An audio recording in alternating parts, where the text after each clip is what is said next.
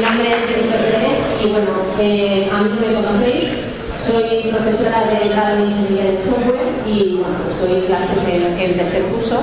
Entonces, bueno, pues los que estéis estudiando Ingeniería de Software me, me dentro de unos años.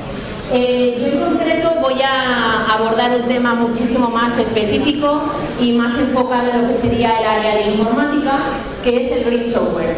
¿Y qué es esto del software verde? Pues básicamente es el software que construimos vosotros y nosotros como futuros ingenieros informáticos que consuman el, menor posible eh, consumo energético, ¿vale? Lo que vamos a intentar es que nuestro software sea lo más sostenible posible. ¿Y por qué? Bueno, pues antes de nada voy a entrar en una motivación siguiendo con lo que sería la presentación de eh, Ana Belén, pero mucho más específica en el área de la informática, ¿no? A día de hoy eh, está estimado que en 2025, por favor silencio, ¿vale? Eh, lleguemos a alcanzar 5,8 billones de conexiones. A esto tenemos que sumar que hoy en día nosotros como ingenieros de software raramente si no hagamos una aplicación que no sea un sistema IoT o un sistema ciberfísico. Es decir, que son aplicaciones que van a utilizar dispositivos inteligentes que se van a conectar a la nube, que van a estar descargando datos y enviando datos de forma continua y masiva y además esa conexión pues, va a hacer una serie de acciones contra bien esa aplicación o otros agentes que hay en el entorno donde se despliegan esos activos. Eh, ¿Esto implica? Que en realidad vamos a alcanzar el orden de 25,2 billones de conexiones de este tipo de dispositivos inteligentes que ya tenemos en nuestras casas, en los coches, incluso software encontrado, eh, que están emitiendo datos. Eh, esa gran elevada conectividad, además tenemos que pensar, bueno, podemos decir, bueno, a lo mejor es puntual, ¿no? Tenemos que sumar que hoy en día el 61% de la población eh, somos personas consumidoras de recursos de Internet, aparte de lo que estamos hablando. Pero bueno, podemos pensar que consumimos Internet de una forma, vamos a ver, moderada, ¿no? Pues que sepáis que bajo mi punto de vista creo que no mucho. Estamos del orden de 7 horas diarias conectados a Internet personas entre los 16 y los 64 años que creo que es bastante, pero quizás me llama más la atención es que al día, al día, consumimos una media, que luego están los que consumen más y los que consumen menos, de dos horas y media consumiendo redes sociales. A mí, bueno, estos datos me llaman la atención. Y bueno, podríamos pensar que eso de las redes sociales solo es que estoy conectado y consumo pues, eh, lo que nos proveen las redes sociales. Pero lo que va de la mano de las redes sociales son los datos. ¿Qué ocurre? Que generamos un volumen de datos exagerado. Todos subimos nuestras fotos, ¿no? En vez de guardarlas en un disco, toda la nube y que lo vea todo el mundo, que es maravilloso. Entonces, bueno, pensar que en 2025 está, pensado o se considera que vamos a generar un total de 463 exabytes, os he puesto ahí la, equivalencia para que le pille un poco despistado, al día. Y un poco para que veáis es que este consumo de datos y esta generación de datos es exponencial, porque todos queremos que nuestras fotos estén en la nube y las podamos recuperar en todo momento y cotillear la vida de todos los demás. Pero pensar que en 2019 a 2020 pasamos de 4,4 zettabytes a 44 zettabytes de datos generados. ¿Esto qué implica? Pues que para almacenar todos esos datos se incrementa el volumen de data centers que tenemos eh, instalados y con el paso del tiempo van a ser muchísimos más. Y esos servidores que tienen que tener disponibles esos datos durante todo el tiempo consumen una gran eh, electricidad. Bien, a todo esto, sumado con redes sociales, eh, aunque parece una paradoja para nosotros, porque Facebook es de boomers, pero eh, Facebook, a día de hoy Facebook es la más utilizada, ¿no? Y YouTube es la segunda. Quiero hacerles aportaros una estadística, YouTube está muy satisfecha con que cada día la gente ve un billón de horas de vídeo de YouTube. ¿Mm? Es una estadística súper buena solo para YouTube imaginaros las otras redes sociales que hay, eh. Pues está estimado que 10 minutos de visualización de YouTube es un consumo de un gramo de CO2. Si a esto lo vamos calculando, pues llegamos a consumir 2.190 billones de gramos de CO2 anuales. Eh, bien, eh, ya el creador de C++ nos dijo que nuestra civilización. Eh, depende de, lo que sería el software como del agua. Y bueno, esto que os estoy contando de redes sociales y demás, no sé hasta qué punto es una dependencia real o nos la estamos imponiendo, ¿no? Ahí os dejo. La foto oficial. Eh, además de eso, os quiero hacer cuenta que os he dicho la broma del Facebook y los boomers. TikTok de las redes sociales más potentes hoy en día, junto con Instagram, y mirad cuál es la que más consumo energético tiene. TikTok, ¿vale? Está estimado que aproximadamente, eh, por favor, aproximadamente para el 2030, que es lo que tenéis en esta diapositiva, una persona al día consuma 165,6 gramos de CO2 equivalente, que es la, media de, es la medida de la huella de carbono, ¿vale? Eh, eso al año, que es la medida que tenéis aquí, individualmente sería como yo coger el coche aquí sola e irme de Madrid a Sevilla el mismo consumo energético. Y creo que es importante que todos seamos conscientes que cuando estamos utilizando el móvil, cuando estamos viendo vídeos, cuando estamos consumiendo contenido, estamos también creando una contaminación ambiental y un consumo energético importante. Y cada vez que subimos, en vez de contestar con un escrito, añadimos un meme o una foto, estamos implementando ese consumo energético. Y bueno, simplemente es para que todos seamos conocedores de eso. Eh, además, aquí ya viene el problema y ya es un poco la reflexión más, más importante, y es que de aquí a 2030 está estimado que solo ICT consume el 50% de, la energía eléctrica mundial. El 50%, la mitad. Y encima nosotros somos los que producimos ese software. Y bueno, pues habrá que hacérselo mirar, ¿no? Ese software o ese hardware eh, a muchos lados, en lo mismo, computadores, eh, software, sistemas de información, ciencias de datos, de la industria. Todos vosotros pues eh, tendríais que estar un poco pendientes de eso. Vamos, así también, obviamente, vamos a ser corresponsables de ese consumo en cierta manera. Y de hecho, según eh, Schneider, de, lo que sería que hemos consumido en 2020, en 2030 vamos a, a consumir el 50% más de electricidad. ¿Qué pasa? Y me voy un poco a la charla que ha hecho eh, Ana Belén. Es que los recursos son finitos si vamos incrementando y seguimos consumiendo y seguimos produciendo datos y seguimos, aumentando estas necesidades, va a llegar un momento pues, que o ponemos remedio o nos vamos a quedar sin electricidad. ¿Sí? Vale, pues ¿qué vamos a hacer? Bueno, esta transparencia, os digo, yo hasta ahora os he contado pues, todo esto de las redes sociales y demás, y nos hemos puesto un poco el gorro de usuarios, ¿no? de personas que pues, tenemos uso de, móviles y demás. Mi charla va un poco más en el área de, vamos a ponernos el gorro de ingeniero informática entre todas las titulaciones que impartimos en esta escuela. ¿no? ¿Qué podemos hacer realmente nosotros como ingenieros en informática para optimizar o mejorar este hecho? Vamos allá. Para eso primero os voy a introducir dos conceptos. El primero es Sustainability In y el otro es Sustainability By. ¿Cuál es la diferencia entre uno y otro? Nosotros como ingenieros podemos construir aplicaciones o sistemas que sean sustainability by. ¿Eso qué significa?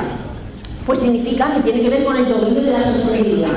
Podemos producir una aplicación, por ejemplo, pues para mejorar eh, la eficiencia energética de mi hogar, o puedo hacer una aplicación pues para mejorar, por ejemplo, lo que sería el cultivo, el riego, o, eh, como hablaba Ana Belén, pues control de sistemas fotovoltaicos y demás. Todas esas aplicaciones, el dominio que se van a, implantar es un dominio que va a favorecer o va a mejorar la, sostenibilidad de nuestro planeta. Eso es Sustainability By. ¿vale? En mi charla, en concreto, vamos a trabajar en Sustainability In, que es que el propio producto software no tiene nada que ver con el dominio, da igual cuál sea el dominio, sino que el propio producto software o el propio sistema que vamos a desarrollar pues eh, se haga pues, eh, de la forma más eficiente posible en términos energéticos. Bien, dentro de la sostenibilidad yo me voy a centrar en la parte medioambiental, sabéis, vosotros ya la habéis visto en clase, que está la parte económica, está la parte social, Puedo daros algunas ideas, pero no me da tiempo en esa charla comentarlas, pero por eso voy a centrar en la parte de green, que es lo que es medio ambiente. Obviamente, si hablamos de, de software, todos nos vamos a plantear decir, bueno, pero es el software, ¿dónde se ejecuta? En el hardware. ¿Cuál es la, diferencia eh, básica? eh, cuando nosotros enchufamos eh, un ordenador a lo que sería el suministro eléctrico, ese ordenador tiene un consumo que se llama consumo basal. El consumo que por sí mismo, él sin ejecutar nada, tiene a la hora de estar conectado a la red. ¿Qué ocurre? Que cuando eh, ejecutamos una aplicación sobre ese hardware, ese consumo incrementa. ¿Dependiendo de qué? De las características de esa aplicación software. Y ahí es donde pues, podemos eh, hacer cositas. Eh, para ello, ya vamos a entrar en lo que sería en esa sostenibilidad software o en ese clean software, introduzco dos nuevos conceptos. El primero es Sustainable Software Engineering y el segundo es Sustainable Software.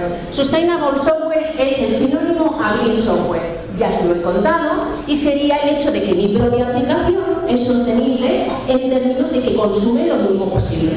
Vale. ¿Pero qué es el Sustainable Software Engineering? Bueno, pues la ingeniería del software, eh, como la mayoría son de primero, eh, básicamente es la disciplina en la que nos dice cómo se construye el software. La ingeniería del software establece unas etapas, unas áreas y unas actividades a realizarlas para que el software se haga de forma rigurosa y de forma eficiente.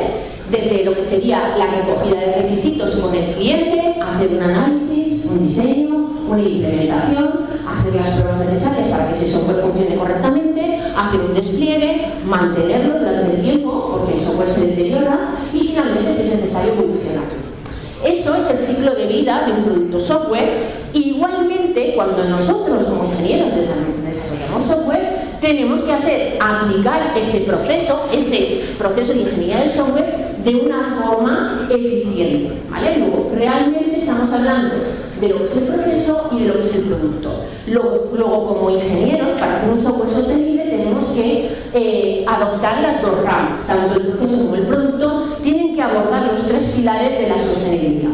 Como os he dicho, aunque tengo que decir que sí que serían los tres, me centro de nuevo en el medio ambiente, ¿vale? Perdonad por los cambios de bromas, eso del micrófono no, yo no doy clase conmigo. es un poco complicado. Como os digo, ¿dónde se posiciona software? En el área de medio ambiente. ¿Mm? Bien, en el ciclo de vida vamos a empezar con el proceso, ¿vale? ¿Qué podemos hacer para que nuestro proceso sea más eficiente en términos de eh, consumo energético? Eh, proceso básico, ¿vale? que sería requisitos, desarrollo, testing y finalmente dar la entrega. Eh, normalmente lo, que hoy en día el tipo de, de procesos software que son iterativos e incrementales porque nos dan mayor flexibilidad y lo que nos tenemos que preguntar para que sean más sostenibles es a lo largo de este ciclo, eh, a lo largo de este ciclo, ¿qué métricas voy a medir en términos de, de, lo que sería energía o gasto energético? ¿Qué quiero medir? Analizar los resultados, cuándo voy a analizar esos resultados y qué posibles acciones yo puedo definir para que al final, iteración tras iteración, mi sistema software sea mucho más eficiente en términos de consumo energético. Bien, eh, para ello os voy, a, presentar un pequeño modelo en el que se está trabajando, que sería pues, plantearnos algunas cosas a la hora de desarrollar nuestro producto software. En primer lugar, los ingenieros de software, cuando hacemos un, un sistema, siempre se desarrolla en un lugar, en una oficina, en un laboratorio y podemos ser más eficientes o menos eficientes en nuestro lugar de trabajo. ¿no? Por lo tanto, hay indicadores en nuestro lugar de trabajo que podríamos llegar a medir para ver cómo de sostenibles es ese lugar de trabajo. Por otro lado está el WOT. El WOT es el producto, que ya lo he dicho. ¿Qué vamos a desarrollar? Dependiendo de lo que vayamos a utilizar para ese desarrollo, podemos eh, medir si realmente es, eficiente o no es eficiente. Por otro lado es el HOW. El how es, a la hora de hacer un proceso software, vamos a, a la hora de monitorizarlo, seguirlo, ver cómo lo estamos realizando, también como ingenieros utilizamos herramientas y esas herramientas hacen un consumo energético a su vez. Por lo tanto, podemos medir cómo de sostenible es ese conjunto de herramientas a la hora de construir mi producto. Y finalmente está el web, es decir, cuándo voy a hacer esas monitorizaciones, voy a hacer esos chequeos de control de sostenibilidad para tomar acciones, como hemos dicho, para mejorar. Uno de los procesos más reconocidos, ahora no lo sabéis, pero bueno, ya lo estudiaréis en la carrera o lo sufriréis, que son las metodologías ágiles. Las metodologías ágiles son perfectas para abordar la sostenibilidad porque hacen ciclos muy cortos de entrega al cliente de la aplicación, tan cortos como que son del orden de dos a cuatro semanas. Por lo tanto, de forma iterativa e incremental, podríamos comprobar de dos a cuatro semanas cuál es la salud de nuestro proceso y de nuestro producto en términos de eficiencia energética, con lo cual nos ayuda a una monitorización muy controlada. Eh, las ágiles establecen una serie, como digo, de iteraciones y de actividades y tenemos que ver, a día de hoy, como ingenieros, tenemos que plantearnos cuándo y cómo eh, tomar esas medidas.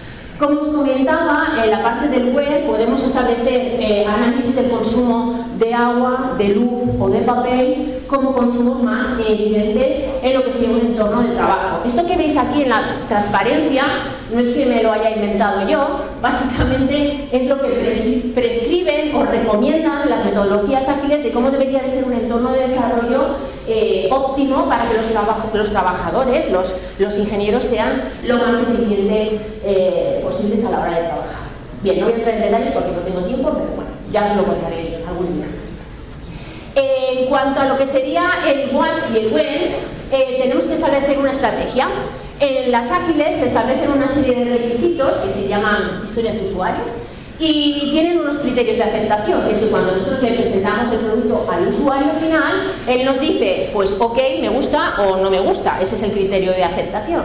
Pero también podemos proponer unos criterios de aceptación en términos de eficiencia energética y que además el cliente pues, eh, esté contento, no decir, mira, esto consume demasiado, demasiada energía, tenemos que optimizarlo y en la siguiente iteración ir mejorando poco a poco. ¿no?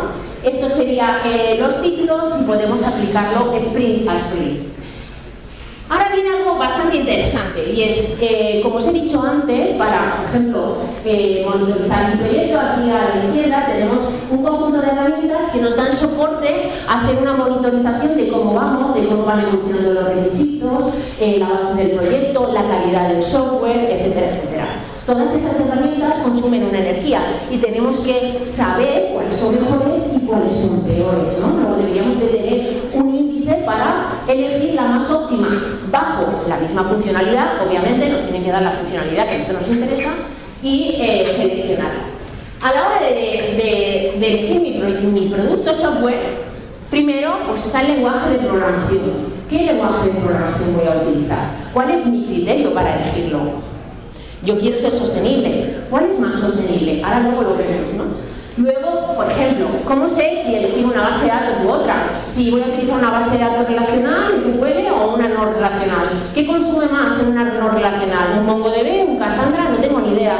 Necesito esos datos, ¿no? Pues esos datos me pueden ayudar a elegirme o decantarme bajo la misma funcionalidad por un sistema gestor de base de datos o por otro. Y como ingenieros deberíamos de saberlo, ¿no? Esta sería nuestra, nuestra preocupación. Lo mismo sería para los sistemas de control de versiones, por ejemplo, para los eh, proveedores cloud, etc.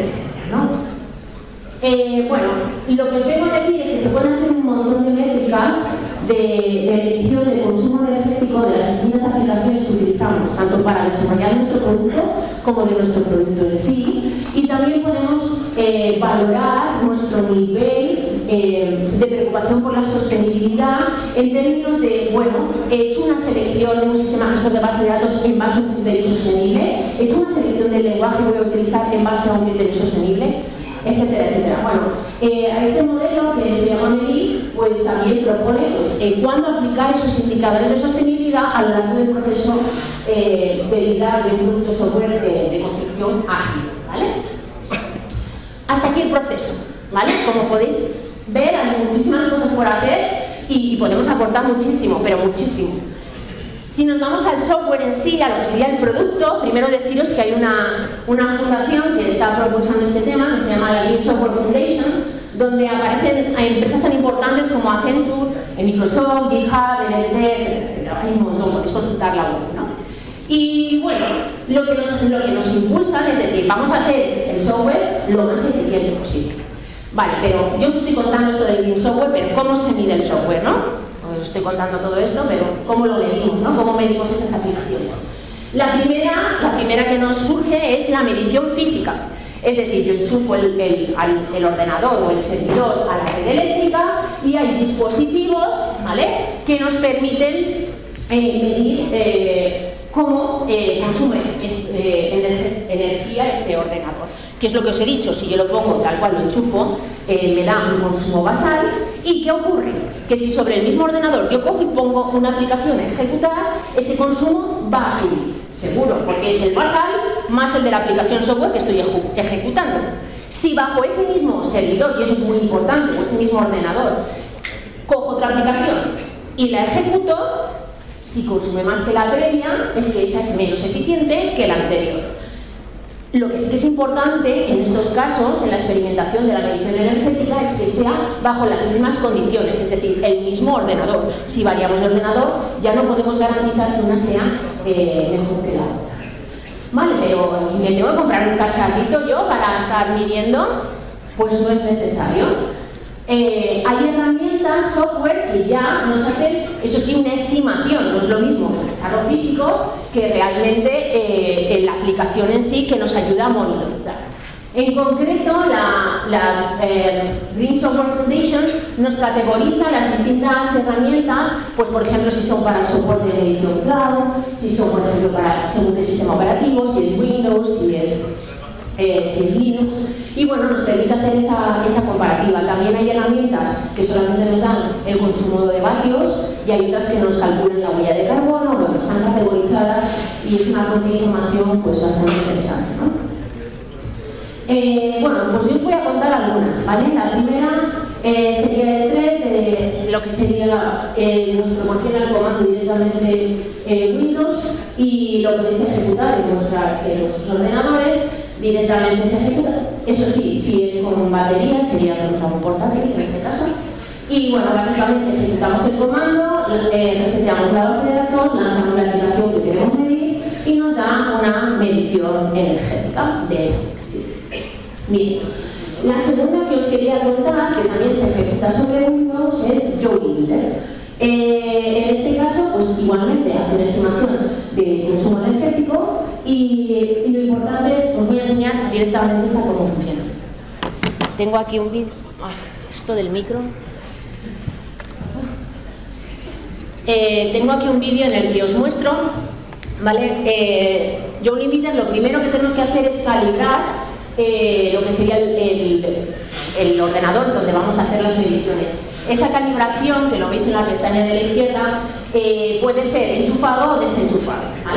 Una vez hemos calibrado el ordenador sobre vamos a ejecutar, nos puede medir tanto lo que sea el consumo base, como la CPU, como el monitor, como el disco, incluso la aplicación determinada. Eh, nos guardan las métricas en ese CSV, en un Excel CSV separado por comas, y bueno, mm, simplemente tenemos que hacer es coger cuál es la aplicación que queremos eh, monitorear sin más. Aquí tengo una, una, aplicación muy sencillita, nada, son solo ventanas, no hace nada siquiera, ¿vale? Eh, solamente lo, he preparado para el vídeo. Y si os fijáis, pues bueno, aquí directamente ponemos el tipo de aplicación que queremos monitorizar. En este caso, Java.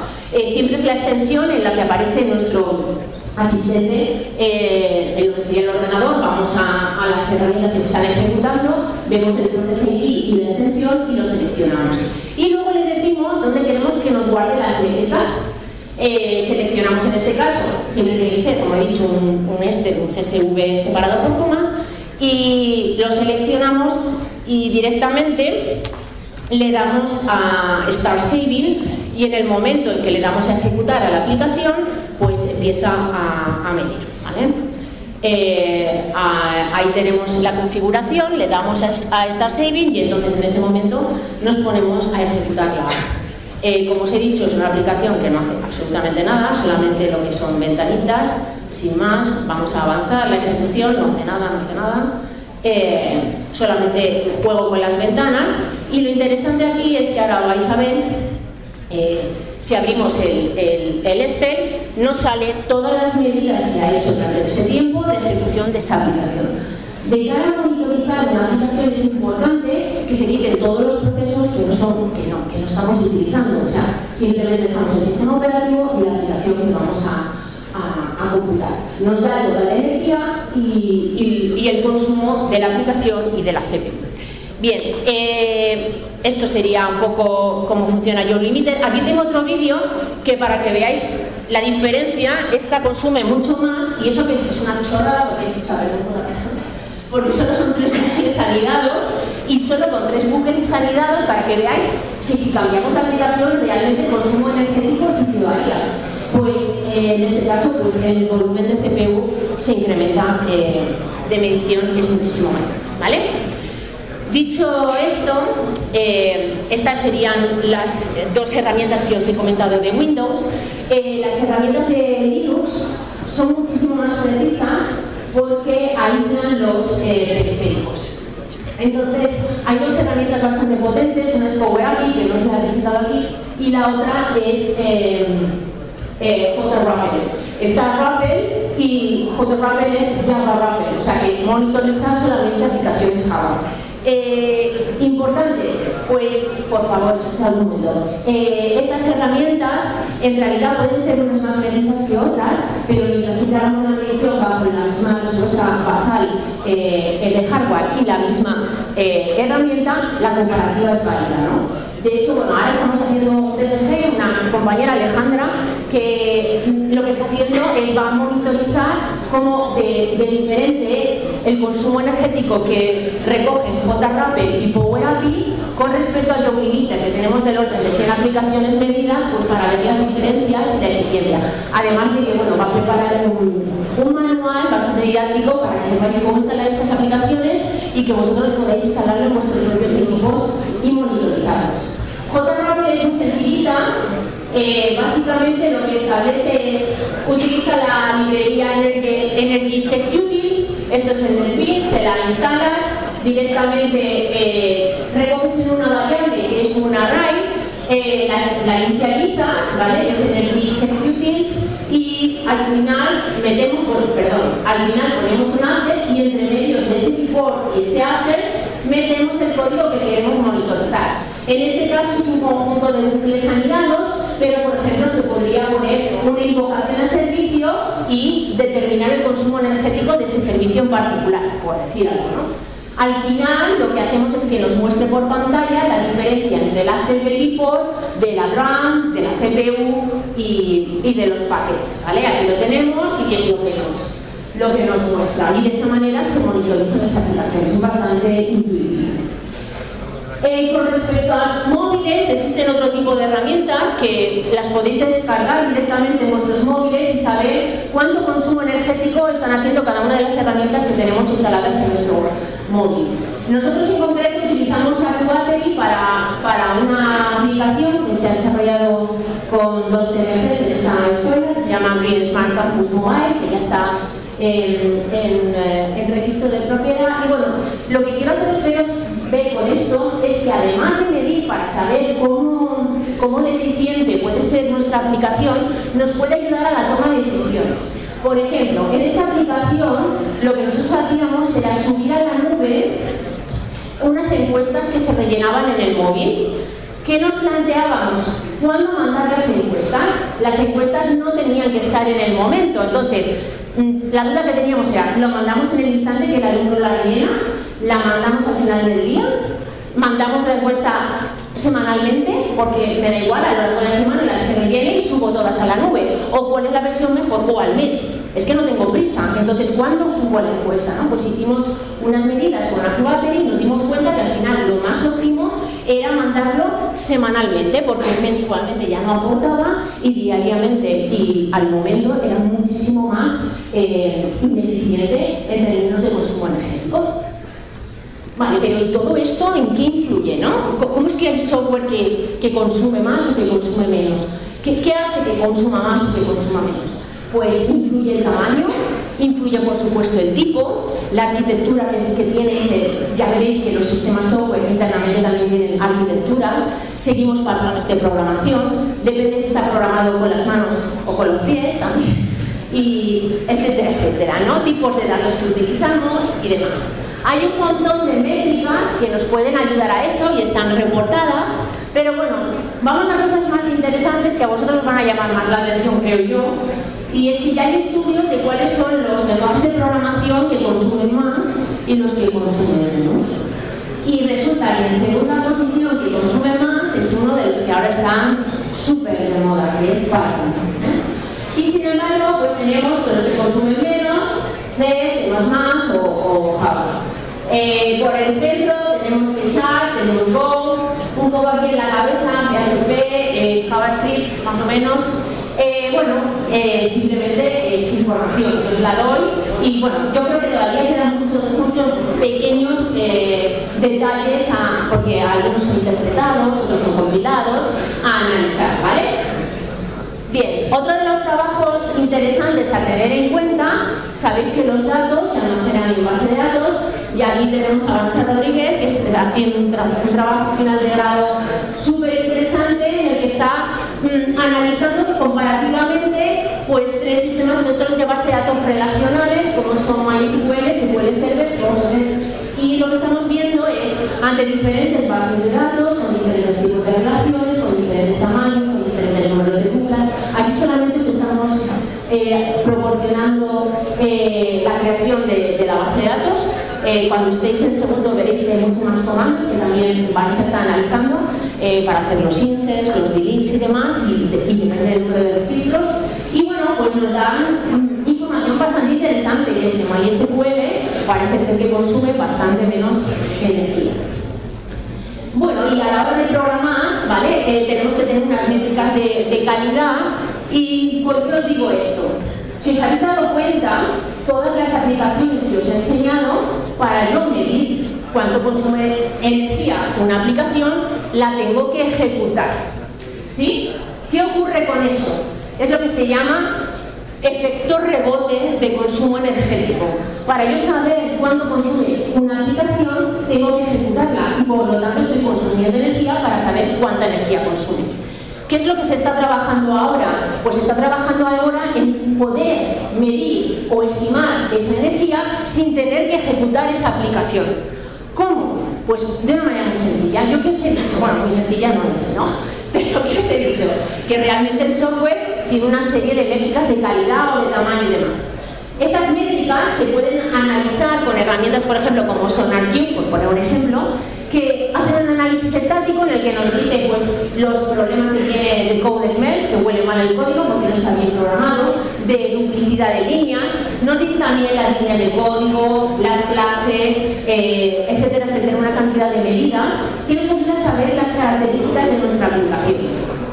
¿Qué es lo que estamos trabajando ahora? ¿Por qué no ayudamos a través de ese análisis estático de las características de mi aplicación a estimar de una forma lo más precisa posible cuál sería el consumo energético de una aplicación sin necesidad de tener que ejecutarla?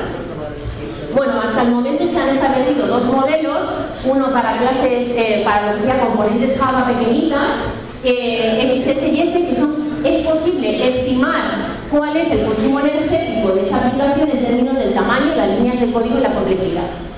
Igualmente se ha hecho una estimación energética para aplicaciones Java y C en eh, un tipo de patrón en concreto, porque claro, estas cosas hay que acotarlas mucho para ser finos y realmente que la estimación sea buena, para modelos vista controlado, que es un patrón, ya lo descubriréis, bastante eh, adaptado. ¿Cuál es el siguiente paso? Y aquí vienen un poco todos los que estén estudiando ciencias de datos. Eh, si yo me guardo toda esa información, es decir, los patrones arquitectónicos de una aplicación, si yo me guardo el conjunto de clases y los patrones de diseño de la aplicación y las características de esta, me guardo todo lo que serían las métricas eh, energéticas y cómo de bien o de mal programada una aplicación, podemos hacer un, una explotación intensiva de esos datos y aplicar deep learning, machine learning y diferentes técnicas para extraer conocimiento y presentar modelos que nos ayuden a estimar eh, esa energía de la forma más eficiente posible. Y por supuesto, pues se lo podemos dar al usuario final que sería en este caso el ingeniero de software, para eh, tomar las decisiones más sostenibles posibles en su desarrollo.